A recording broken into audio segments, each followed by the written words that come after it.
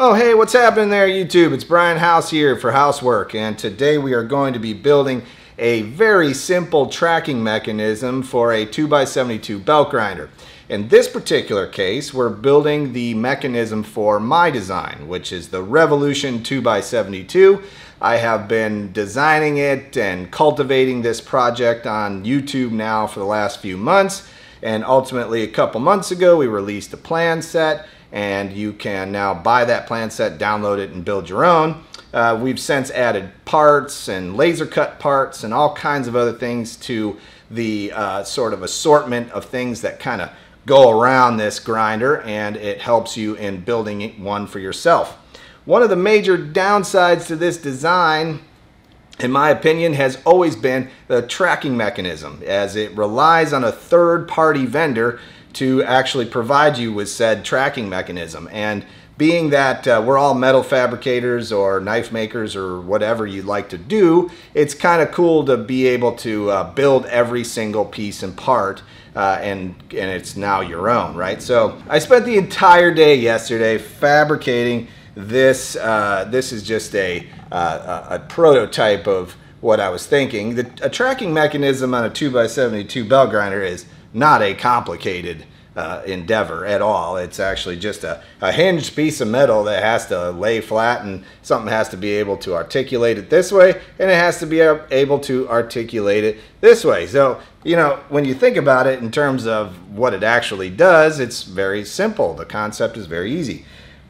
Now, I wanted to come up with uh, the idea that somebody would be making this themselves. And when I designed this and cut it out, I realized it's still, as simple as it is, too complicated. I don't think it needs to be this complicated.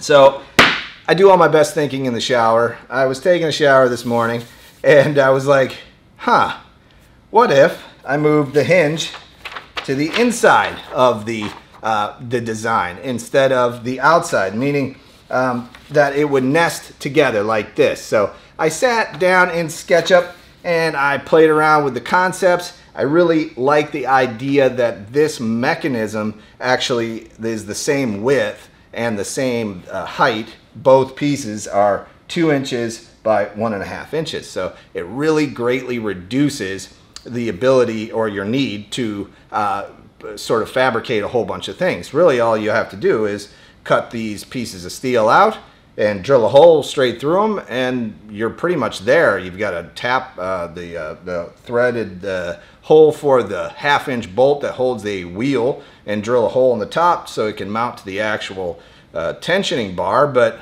other than that, it's a fairly simple process, right? So, uh, and also you can go out and buy a one and a half inch by half inch piece of flat stock or bar and create this with almost uh, like four cuts. So to me, in my head, I started thinking, well, and we do it that way, the bolt is shorter, there's a lot less cuts involved, and if you have a CNC plasma, you can do whatever you want. I mean, you could create this thing and make it as pretty as you want or as ugly as you want, but ultimately it does the same job, right? And in this case, I was going for simplicity, ease of use, and also uh, the bolts, being that they're a little bit shorter, are actually cheaper. So, uh, yeah, I thought about all those things and this is the design I have come up with.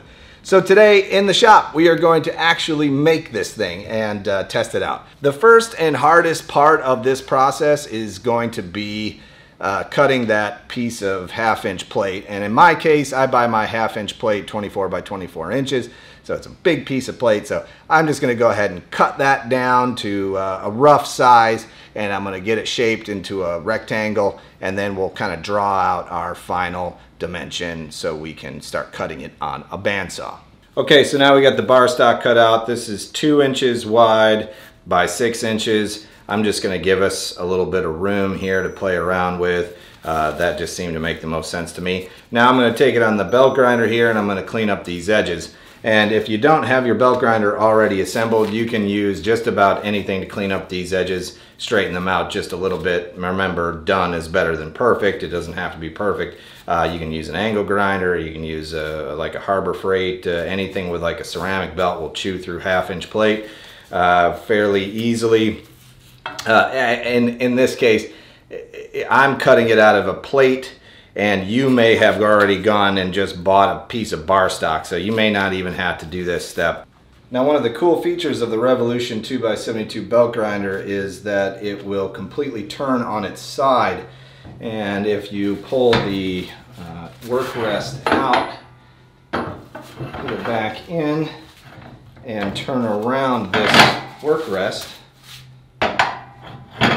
you now have a really nice big horizontal surface to work up against to get uh, those long, if you've got any long lines like on the side of this steel plate that you want to run, you can now do that.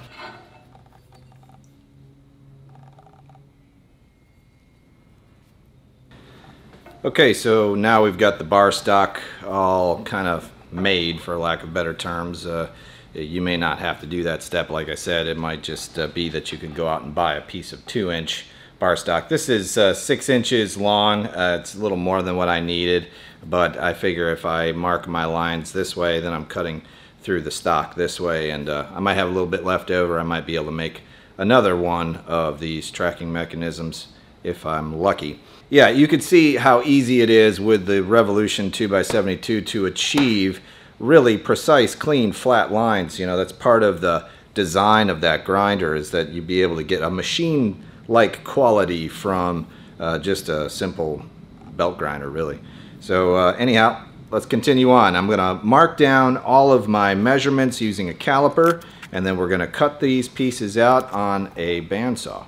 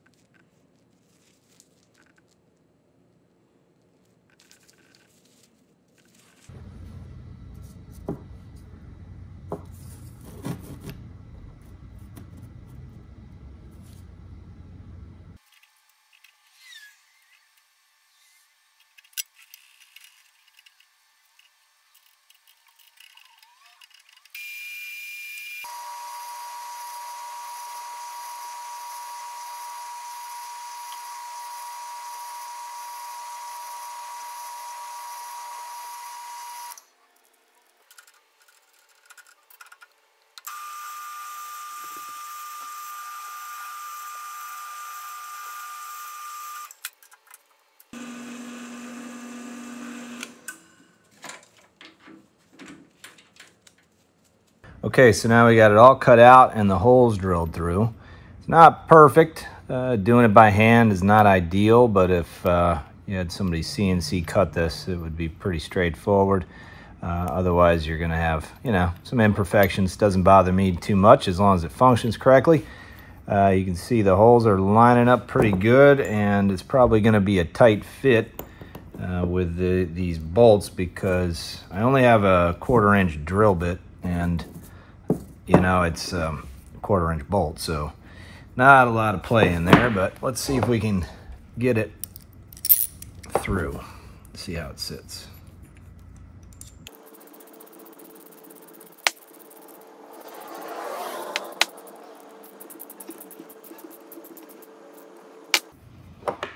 Not too bad. Looks like it would swing just fine. Nut on here. Be in the money. All right, so now we have to drill the hole for the threaded bolt that will go through the tracking wheel. And uh, one of the things that I had trouble finding was the, the right drill bit, but I went to Home Depot And we, what we need is a, a half inch 13 tap for the bolt and the drill bit is a 27 64 which is an odd size. It's, it's not common, but uh, Home Depot actually carried this whole set for 10 bucks. You get the tap and the drill bit. I didn't need the tap, but I did need the drill bit and I couldn't find it anywhere else, so we got it.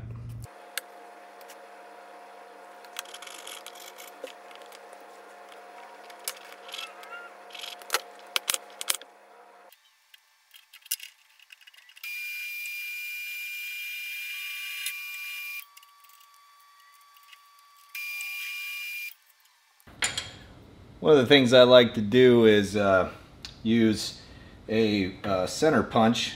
One of these cheapies from uh, Harbor Freight works pretty good actually. Uh, for about three bucks, it makes a pretty awesome tap follower.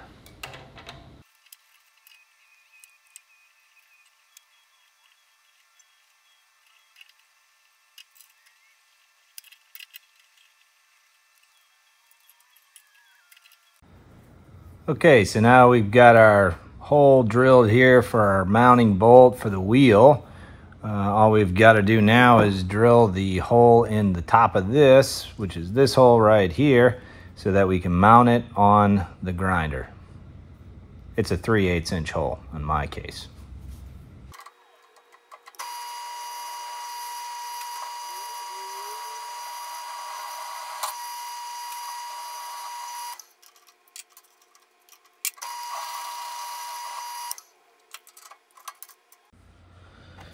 All right, so uh, we've got everything machined out the way we want it, and let's quick assemble it and see if it will track.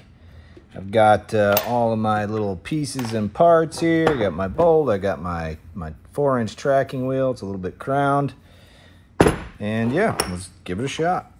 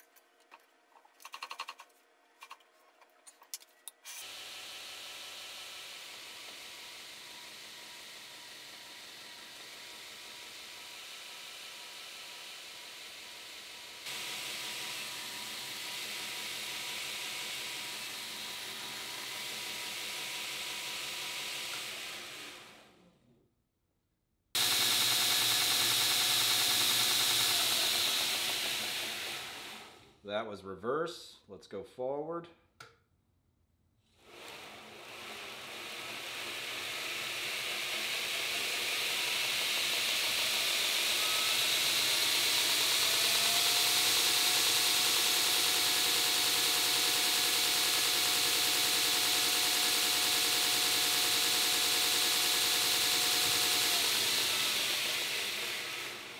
Let's try reverse again.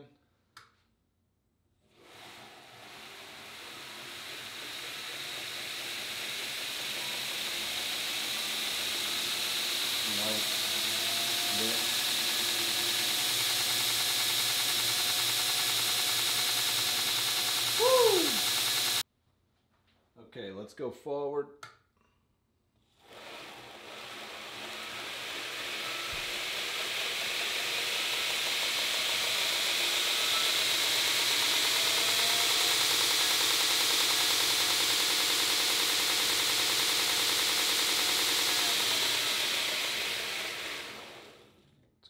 reverse.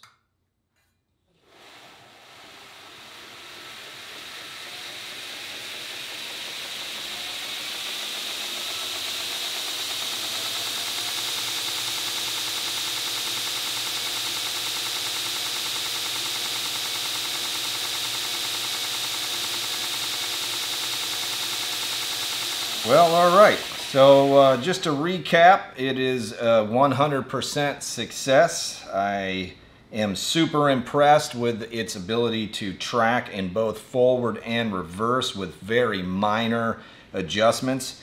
Um, I'm also very impressed with this uh, set of wheels that I got from knifegrinderparts.com. I'll create a link down in the description so you can go find Chaz's website. He's a splendid guy to do business with. I'm, I'm not uh, affiliated with him in any way, uh, but I am. Uh, I'd like to promote his website. He he makes really good, high quality wheels, and um, and and and I I would love to promote what he does there. You did see I made a a little notch, a little uh, a mark here on the the the arm of this tracking mechanism so that I can kind of, uh, if this were to ever get out of alignment, I would be able to uh, realign it quite quickly. Um, I am going to start selling the hardware that will bolt up to one of these. So I will include that on, uh, on the website at some point, which is just the bolt and the brass, the cool brass spacers that make this thing functional. And it's the right size bolt so that it'll hold this wheel and not have a ton sitting proud on the, uh, the bolt sitting proud on the outside here. Uh, again, I think that this is super useful. Um, of course, you can go purchase a tracking mechanism and a wheel. I think on eBay they go for about 60 bucks uh, for the mechanism itself and the wheel, which isn't too bad. Uh, however, um, you know, you can build one with some scrap half inch plate and make it work for you and you can use Chaz's wheel set the wheel set I got from his website was two platen wheels and this four inch tracking wheel all shipped to my workshop relatively quickly for about 120 bucks. Uh, the, the thing about that set though is it doesn't come with the nuts and the bolts and all that to make it functional on your grinder. Uh, I do sell those on my website housemade.us. You can check that out. I also sell plans and the plate steel for my Revolution 2x72 belt grinder. Uh, so, you know, go check that out and it would help support everything I've got going on right here in my workshop. If you got something out of today's video, guys, make sure you hit that thumbs up button. And if you're not already subscribed, hit that subscribe button. And if you hit that little bell, you get a notification every time I upload something to YouTube. There's many ways you can support my channel through Patreon, through uh, my Teespring store. You can buy t-shirts and merch there. I am going to expand uh, some of my uh, merch stuff onto my website. I found a really cool plugin for my, my Shopify site that'll allow me to sell some really cool stuff, um, you know, uh, my HouseMade uh, merch and stuff. And I've been really working hard on that with my wife, Sarah. She's putting some cool graphics together and we've got kind of a new slogan that we're toying around with and that should be that should be rolled out in the next couple of weeks or so. Also, you can um, you can uh, buy me a coffee. There's a link down at the bottom. You can buy me a coffee. Uh, any of those things will work great for supporting my channel. Also, my Amazon store, you can go through and click through to Amazon, and if you purchase something, I get a small little commission from the purchase that you've made. As always, guys, I really enjoyed being in the workshop with you today, and I hope to see you on the next video. My name is Brian House, and this has been HouseMade.